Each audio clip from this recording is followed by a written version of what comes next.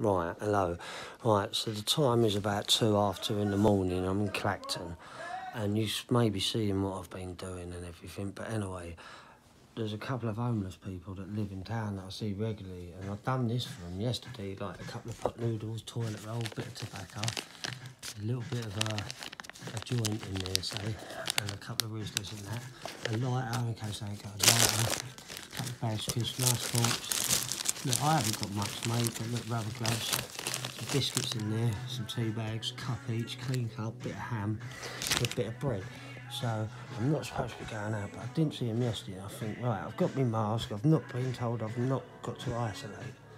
So I've got to go out again Monday anyway to get the last bit of my medication. So I might as well go out.